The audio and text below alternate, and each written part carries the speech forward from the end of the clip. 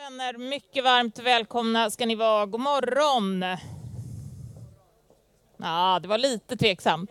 God morgon! morgon. Oh, jätteskönt att höra att ni har vaknat. Mycket välkomna hit. Har ni haft en trevlig gårdag och kväll?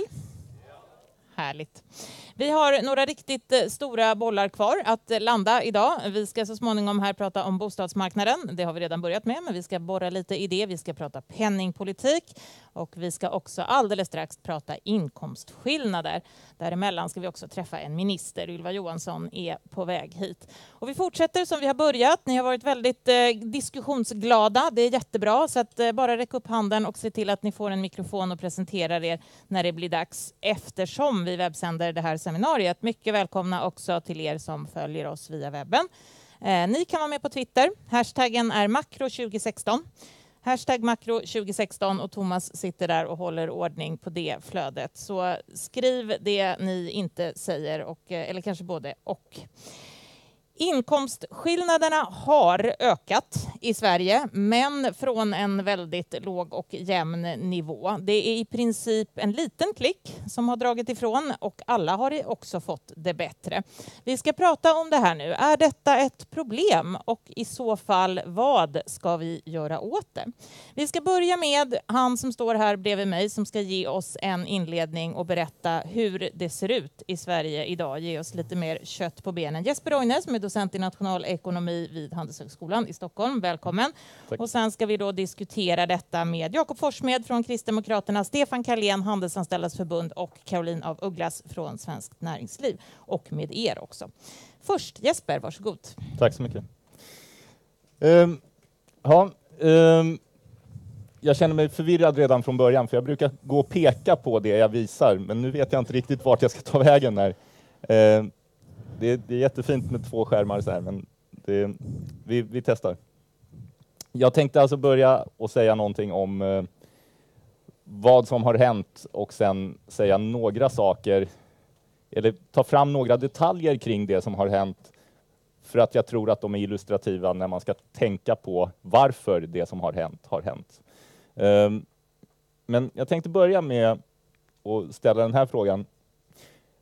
Det här var mycket vanligare för tio år sedan när jag höll på med sånt där. Så var man ofta ifrågasatt för hela ämnesområdet så att säga. Varför ska man bry sig om inkomstfördelning eller fördelningsfrågor om man är ekonom? Det här är ju en normativ grej tyckte man. Um, jag tycker att det som finns här, lite blandade klipp, ger intrycket av att människor verkar bry sig om fördelningsfrågor.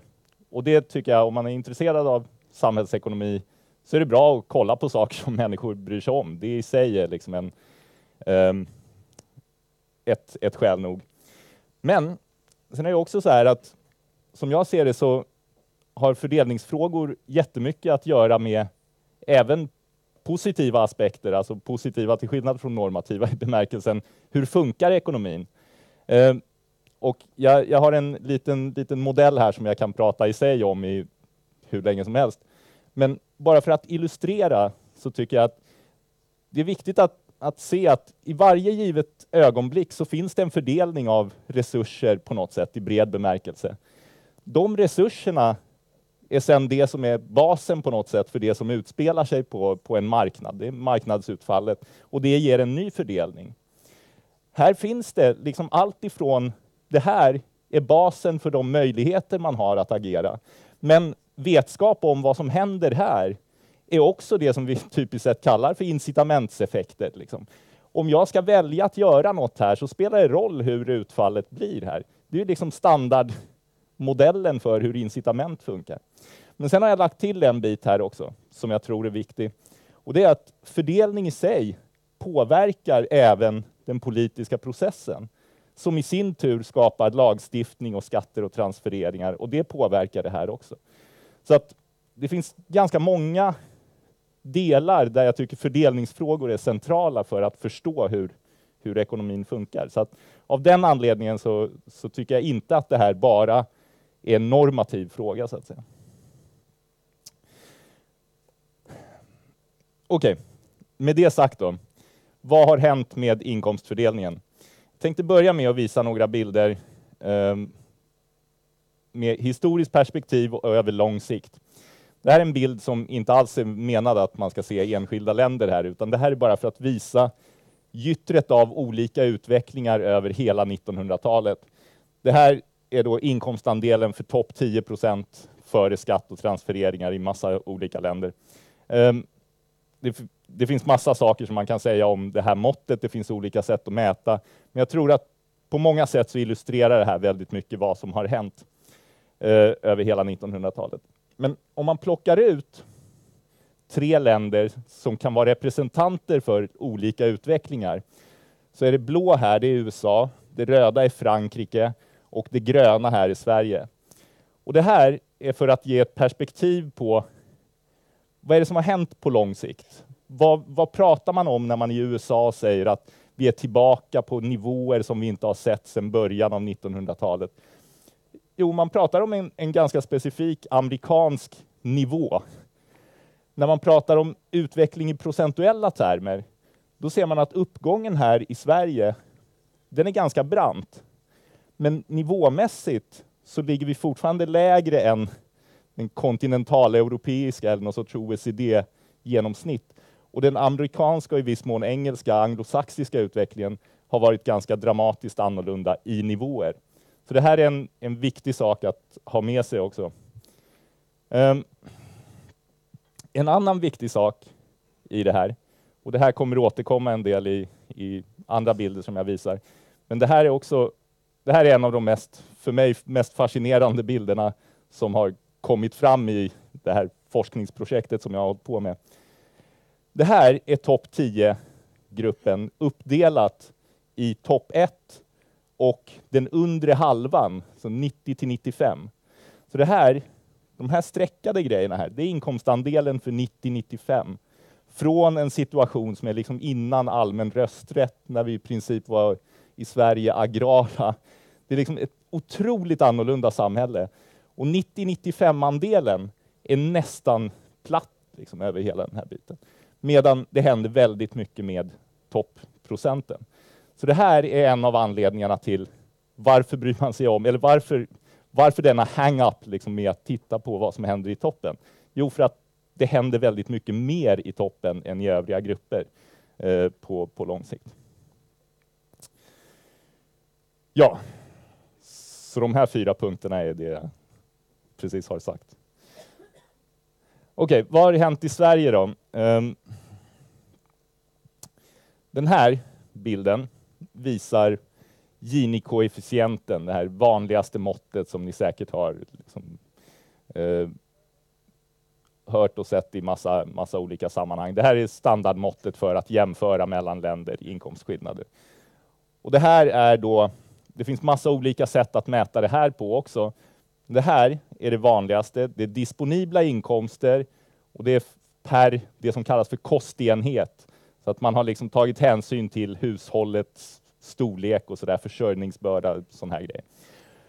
Och när den där går upp så ökar skillnaderna. Och den här ökningen, den är ganska stor. Ehm, men som sagt, från en, en låg nivå. De av er som tycker att de här man i vissa studier så ser man andra nivåer. Det beror på att det finns olika definitioner för exakt hur man ska göra det här. Men hur man än gör så är det ingen tvekan om att trendmässigt så ser det ut ungefär så här. Um, jag pratade med, med John Hassler igår och han sa att han gillar inte Gini-koefficienten för han fattar inte vad den, vad den illustrerar, utan han tyckte att det fanns en bättre, ett bättre sätt eh, att illustrera det här. Det råkar slumpa sig så att jag tycker precis likadant. Jag tycker också att Gini-koefficienten är rätt svår att förstå. Vad är liksom 25 till 27? Är det mycket? Eller för vem? Jag, jag vet inte vad det betyder. Um, så att man kan illustrera den här utvecklingen så här istället. För det här förstår jag. Det här är indexerat. Liksom, tänk att 95 är index 100. Och så är det här i reala termer uppgången för olika decilgrupper. Så det här är liksom, det här lilla spektrat här av uppgångar, det är skillnaderna i hur mycket mer har decilgrupp 9 fått jämfört med 1. Så det här är jämfört med andra länder ett väldigt, väldigt snävt spann. Alltså, tittar man på motsvarande grej för USA så, så är den här platt eller till och med lite negativ för decilgrupp 1 och sådär. Vi återkommer till det. Det här är decilgrupp eh, 10. Så det är de som, har, som sticker ut, toppen av fördelningen. Men som sagt, det skiljer sig ganska mycket i toppen också. Så det här är precis samma bild som tidigare. Så här, den streckade linjen här, det är den tidigare hela decilgrupp 10. Det här, det är 90 till 99 och det där är topp 1.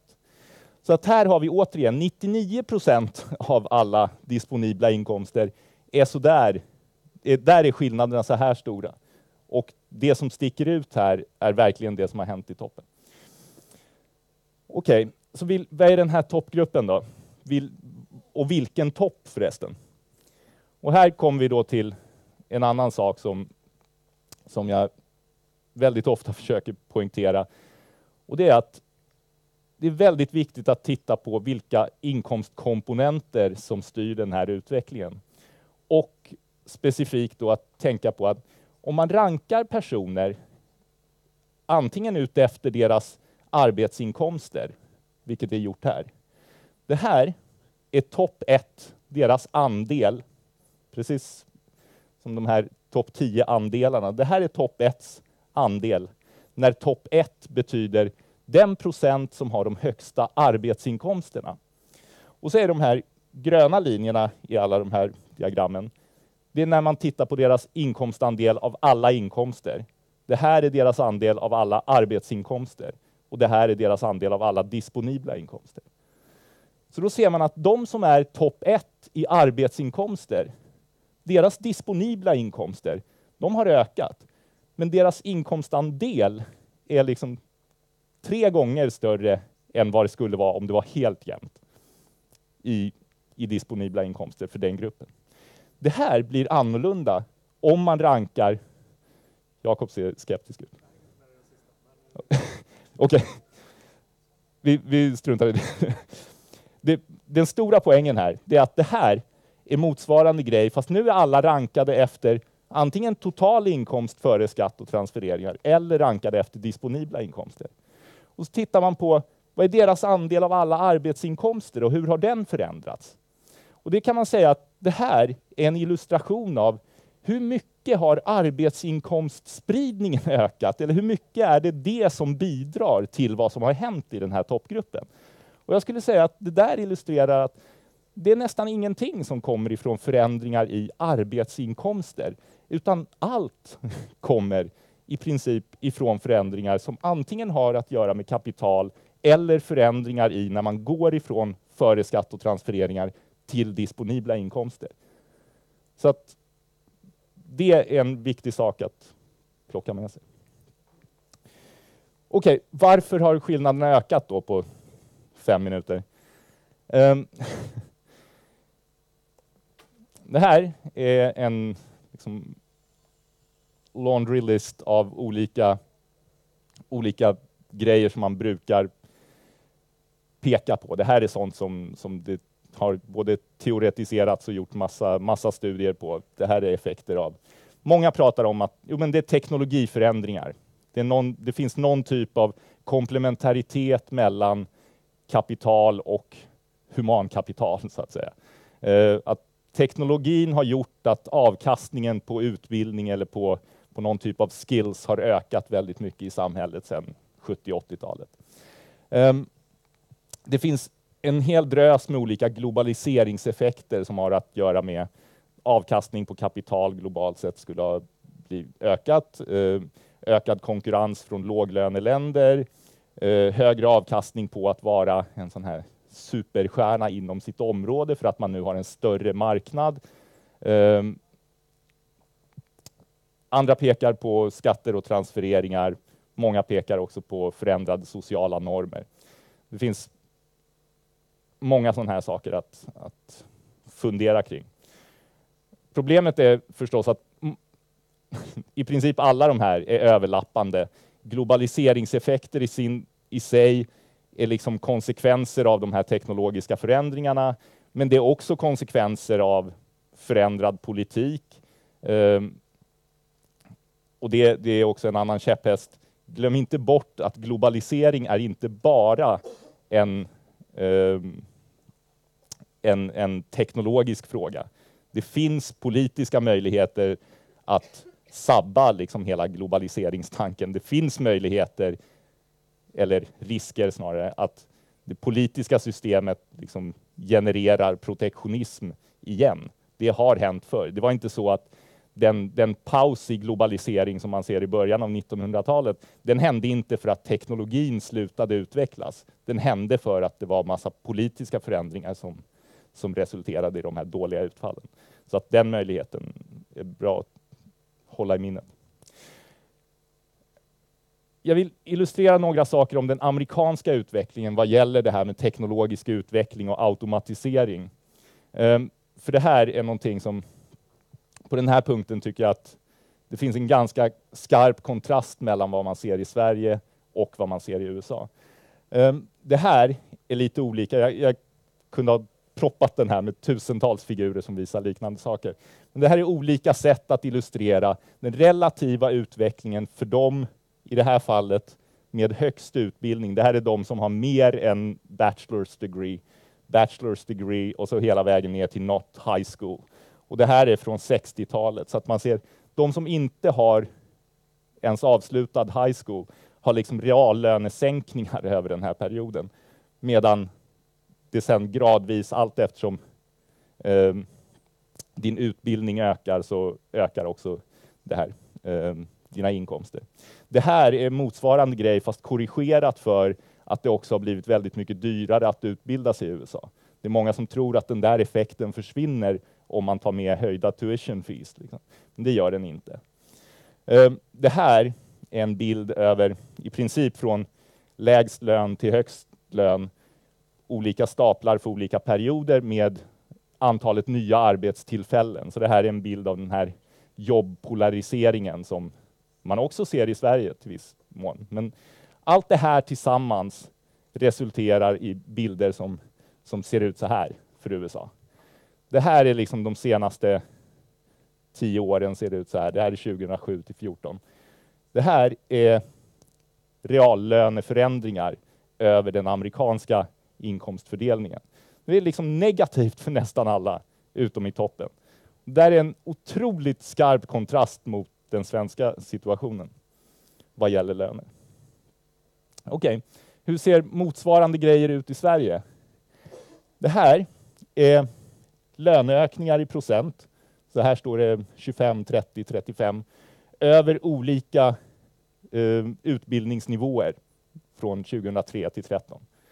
Ehm, löneökningar över hela spannet, ungefär i samma storleksordning. Det här är löneökningar. Varje sån här prick är en bransch. Så det här är SSYK-koder. Eh, Fast jag har sorterat alla dem från lägst löner till högst löner och så tittat på förändringen i lön över den här perioden.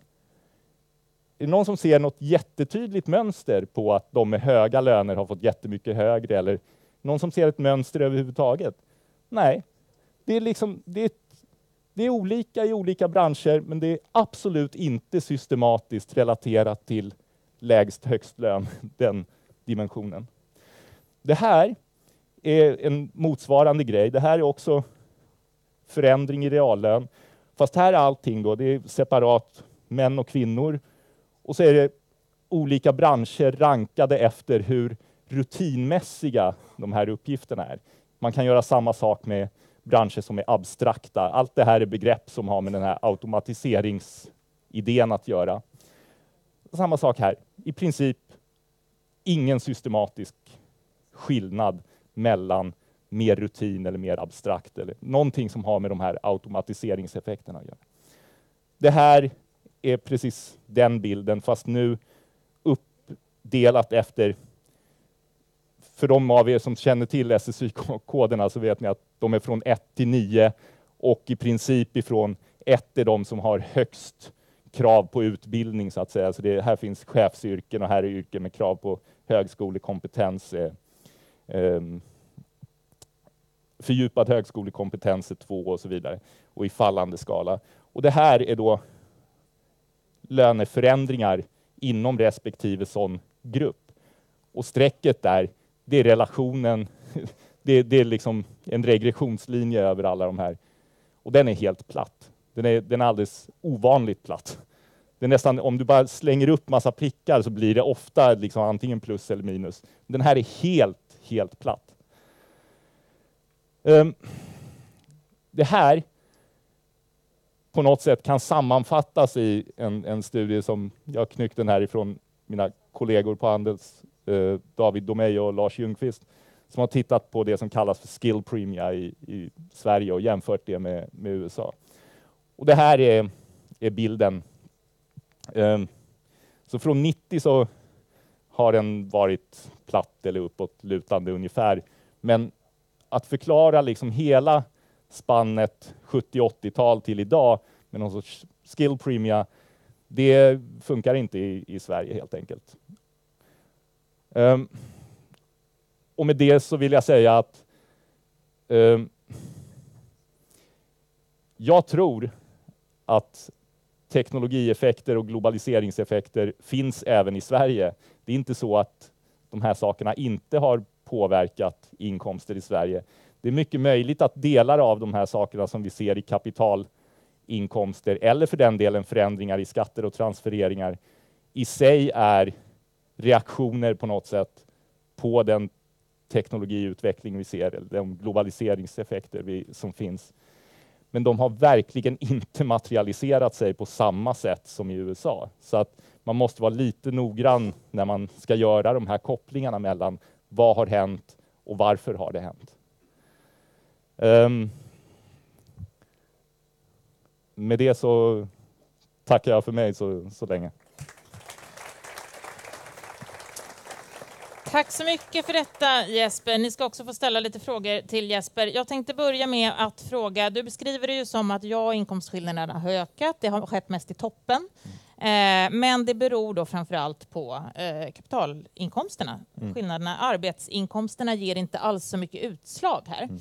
Då undrar jag, vi har ju pratat mycket under de här dagarna om eh, lönespridning, enkla jobb med lägre löner och sådär. Lägger vi för mycket fokus på lönerna i debatten givet att det inte ger så mycket utslag i inkomstskillnaderna? Nej, det tror jag inte. Alltså jag tror att det är klart att löner spelar roll, men men det, det, är inte därifrån inkomstskillnadsökningarna kommer helt enkelt. Det, sen kan jag tänka mig att som sagt vissa delar av kapital, det, det som dyker upp som kapitalinkomster, de är garanterat relaterade till arbetsinsatser, men de tar sig formen kapitalinkomster av massa olika skäl. Mm. Eh, en sak är ju ganska uppenbart stora diskrepansen mellan att plocka ut till exempel lön ur ett eget företag jämfört med att mm. ta ut eh, utdelning. Mm. och det, det är ju någonting som folk har tittat på, liksom 3.12-regler och dess effekter. Men, som folk har tittat på väldigt länge. Det har inte ja. hänt så mycket rent konkret. Nej, men, men det där kan man också se på, på flera sätt. Man kan se det där som att ja, det kanske är politiskt alldeles för krångligt att höja lönerna eller sänka skatterna på, eh, på de, högst, de högsta marginalskatterna på höga löner. Så då kan man skapa politiskt möjligheter istället att ha system där man på något sätt kan få ut sådana pengar ändå mm. eh, till en lägre beskattning. Men det blir inte så där jättetransparent alla gånger. Eh, så det, mm. Mm. Inte så jättetransparent. Vad har ni för frågor till Jesper? Vi har Cecilia där och så har vi Gustav också. Jo, jättebra dragning. Jag skulle bara vilja höra lite grann om förmögenhetsskillnader också och eh, om du tycker att det ser annorlunda ut i Sverige än i andra länder. För vad jag förstår så är det ju ganska stora skillnader mellan inkomstskillnader och förmögenhetsskillnader. Um, ja, det är jättebra att du tar upp förmögenhetsskillnader eh, för då får jag, får jag, givet vilka som befinner sig i salen så är det här ett bra forum att säga se för fan till att vi har statistik på det här på något sätt. För att annars kan vi inte veta någonting om vad som har hänt. Så vi ehm, vet för lite? sen 2007 så vet vi ingenting om den individuella förmögenhetsfördelningen. Eh, så att det finns och det, det är i och för sig, det är inte internationellt sett, det är inte det unikt alls, utan det finns massa metoder för att försöka uppskatta förmögenhetsfördelning eh, utifrån andra data eh, som, man, som man använder sig av i, i, andra länder. Men det är väldigt osäkert och min kollega Daniel Waldenström har precis ett, ett projekt som han håller på med där han har försökt använda den typen av metoder för att uppskatta vad som har hänt med förmögenhetsfördelningen efter 2007.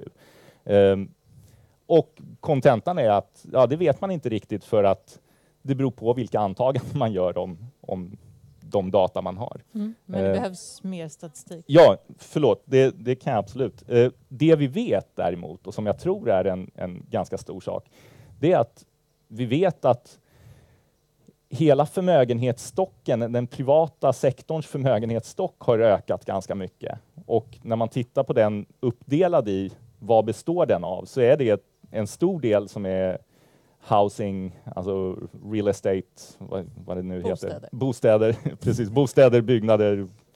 Um, en, en, annan del är eh, pensionssparande, eh, privat pensionssparande har också ökat ganska mycket, men även eh, värden på företag, aktier. Mm. Eh, så det är över alla de här olika kapitaltyperna så har alla de ökat i relation till inkomster. Så att säga.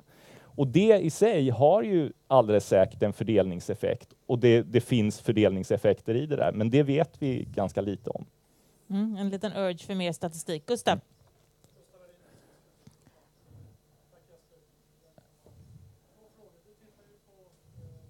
procent. Det förklarar väldigt mycket av de här skillnaderna. Om du tittar på topp en promille förklarar det ännu mer. Fråga nummer två, som du sa, det är ju framförallt kapitalvinster som förklarar de här skillnaderna. Mm. Så borde inte då den normativa slutsatsen, som jag som praktisk filosof inte är rädd för att prata om, är, om man nu vill minska de här skillnaderna, att eh, fler måste få andelar av de här kapitalvinsterna. Och det är kanske det man borde titta lite grann på. Um, ja, på den första frågan så kan man säga att det, det, var också en sak som, som jag borde ha poängterat där, att det här är hela tiden upprepade tvärsnitt. Och det betyder att det här är varje år så tittar man på fördelningen av alla personer och så rankar man dem efter deras inkomster och så tittar man hur stor andel har olika toppgrupper. Nästa år gör man samma sak, men det betyder inte att det nödvändigtvis är samma individer som befinner sig i den här toppgruppen. Så att det är en ganska stor sak att då börja fundera på, kan det vara så att folk rör sig ut och in ur den här toppgruppen på något sätt? Och speciellt gäller det realiserade kapitalvinster. För de av er som har liksom sålt en bostad eller något sånt där så vet ni att det är inte någon grej som ni gör varje år. Och det påverkar, åtminstone de flesta gör inte det varje år, och det påverkar var man hamnar i den här rankingen. Så en eh, oro som man skulle kunna ha av att inkludera realiserade kapitalvinster i det här, eh, det är att det där på något sätt blåser upp eh, inkomstskillnaderna genom att det i själva verket är olika individer som turas om att vara i den här toppen. Den effekten finns, men den förklarar absolut inte allt, utan även när vi försöker, vi har gjort det här på tusen olika sätt, och när man försöker korrigera för hur folk rör sig ut och in så är det fortfarande så att kapitalinkomster i bred bemärkelse påverkar toppen på det här sättet. Ehm, och den andra frågan? Och den, an den andra frågan som hade med 0,1, just det, 0,1 eh, ser ungefär ut som relationen mellan 1 och 90 till 99. Ungefär samma relation hittar om du tittar på topp 0,1. Så de har stuckit ifrån ännu mer i Vi hade en fråga till där. Mm, vi gör så här, vi tar dig väldigt kort Lars och så tar vi Jens också och så är ni väldigt korta och du är ännu kortare härifrån okay. så hinner vi med.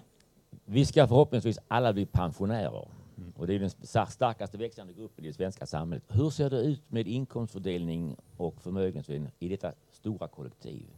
Är det i förhållande till de arbetande klasserna så att säga? Mm. Har pensionärerna blivit eh, fattigare, fattigare, relativt? Mm. Och mer större rättvisa eller mindre rättvisa?